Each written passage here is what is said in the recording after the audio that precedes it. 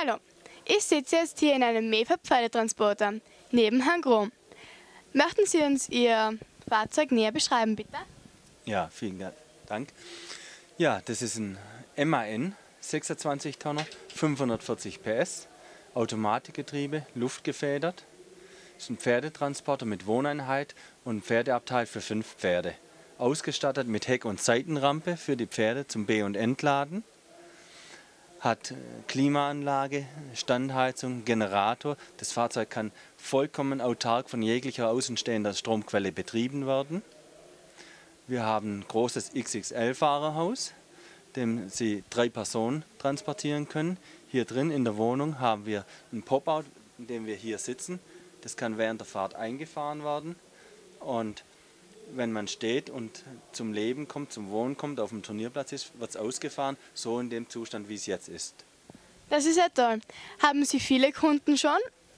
Wir haben sehr viele Kunden. Wir sind der größte und wahrscheinlich auch der bedeutendste Hersteller in ganz Europa für die Pferdetransporter.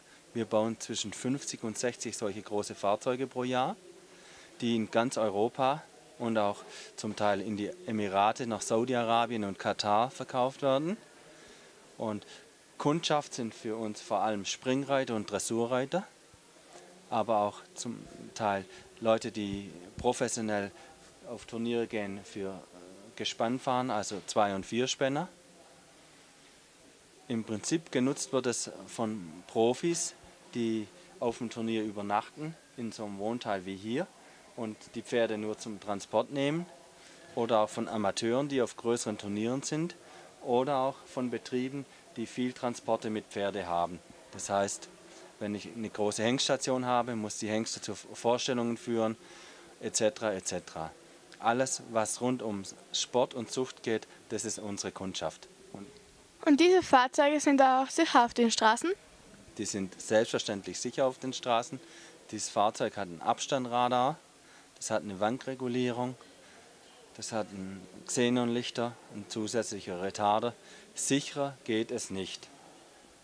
Dann, dann noch viel Erfolg auf dem Papas Amadeus Haus Inners und danke für das Interview. Ich bedanke mich recht herzlichen Dank.